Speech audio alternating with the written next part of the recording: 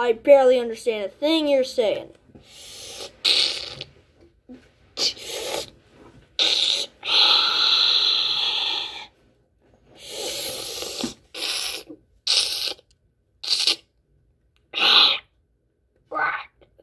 What? You, you are so freaking annoying. Why are you even attacking me? I'm here to kill Godzilla. Why? You do realize I'm not actually Godzilla, right?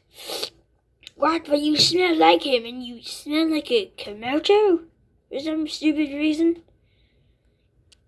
Okay, I'm just gonna kill you before you say anything else. And I'm here to kill Godzilla because what he did to me! Uh, I think you're in the wrong universe.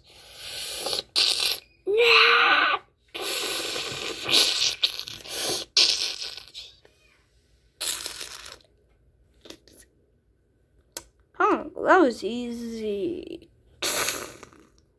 Holy crap.